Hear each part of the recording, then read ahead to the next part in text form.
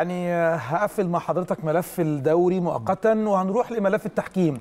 وقبل بس مسأل حضرتك على التحكيم ورأيك في التحكيم بشكل عام في الدوري وبشكل خاص في مباراة الأهلي وبيراميدز هنروح لتقرير مع نقادنا الرياضيين ونسألهم في ملف التحكيم ونرجع نكمل لقائنا الممتع جدا مع كابتن مصر والنادي الأهلي كابتن هشام حنفي.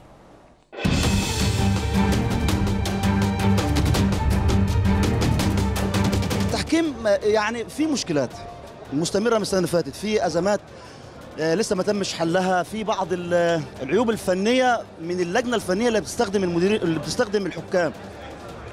بمعنى يعني أنت المفروض أنت آه، لما تيجي تختار حكم لازم الحكم ده ما ينفعش تخليه يحكم مثلا أسبوعين متتاليين وفي فريق واحد.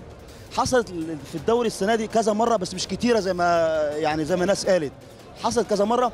المفروض اللجنة الفنية تراعي ده. يعني في مثلا محمود البنا حكم ماتشين في أسبوع واحد. يعني ماتش مؤجل كان الأسبوع السادس على ما أظن كان بتروجيت وحكم ماتش تاني في نفس الأسبوع لما كان مت- متأجلة في نفس الأسبوع. يعني محمود بنا حكم ماتشين في أسبوع واحد في جولة واحدة.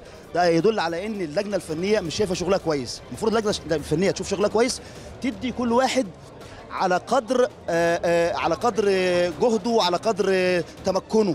يعني ما ينفعش مثلا أبص في الجدول ألاقي واحد واخد 11 مباراة مثلا محمد عادل و وكمان آه، جهاد جريش. في أكتر من حكم واخدين 10 11 مباراة و12 مباراة وحكم واخد مباراة مباراتين ثلاث مباريات. لا شغل كل حكام عشان ما تعملش مشاكل عشان ما تقولش إن إن الحكم ده ملاك النادي الفلاني وملاك النادي الفلاني. لما ألاقي قائمة دولية ما فيهاش محمد الحنفي اللي هو حكم ماتش أهلي والزمالك ولجنه لجنه اليه لجنه الحكام يبقى في حاجة غلط. لما الاقي واحد زي محمد الصباحي حكم السنة اللي فاتت 18 مباراة وال- والسنة دي في حكام حكمت 11 مب... أو السنة اللي فاتت حكمت 11 مباراة ومش. وهو وهو مش موجود وهم موجودين يبقى في حاجة غلط. لما الاقي إبراهيم نور الدين بكل هذا الكم من الأخطاء التحكيمية وفي النهاية هو موجود في القائمه يبقى في حاجة غلط. اذا إحنا قدام مجموعة من الأخطاء المتراكمة وما تعرفش مين السبب فيها.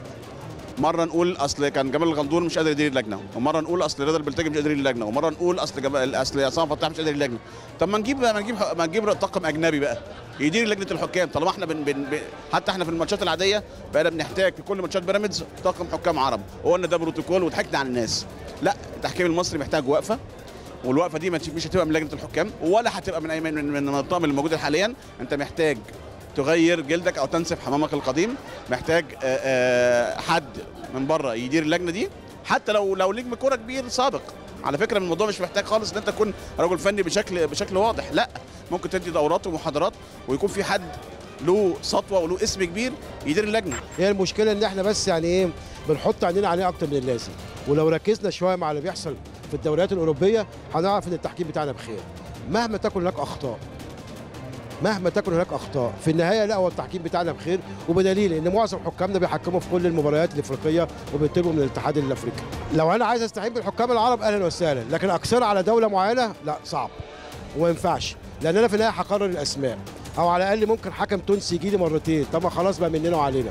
ما يعني عايز التجربة أهلا وسهلا بيها. بس هات بقى من السودان هات من تونس هات من الجزائر هات من المغرب هات من أي دولة عربية وإحنا ما شاء الله أكتر من دوله عربيه يعني. للأسف إحنا التحكيم في مصر السنة دي بيمر بمرحلة آه، يعني انعدام وزن بسبب الضغوط اللي بيتعرض ليها الحكام آه، سواء من من الأندية أو من لجنة الحكام نفسها برئاسة الكابتن عصام آه، كنا متوسمين خير إن في بداية الموسم بعد ما عملوا فترة إعداد كويسة في بورسعيد إن هنلاقي في اكتشاف مواهب جديدة للحكام.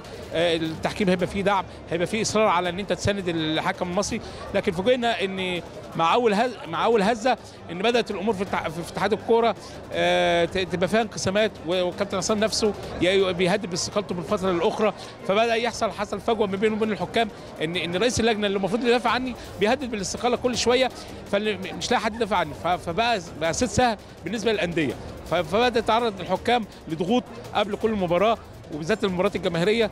فده بقى يسبب عليهم لود جامد جدا. فعشان كده بدأت تأثر آه، سواء قراراتهم داخل الملعب أو من خلال لجنة الحكام إن هي مش قادرة تاخد قرارات تجيب حق الحكام إن أنت تعيد له هيبته تاني إن أنت إن أنت الحكم ده ده أهم عنصر في اللعبة. لكن أنت في مصر للأسف مش مدينه حقه ودايما بيتعرض لنقدات في الفترة الأخيرة بشكل يعني يعني أنا صعبان على الحكام والله.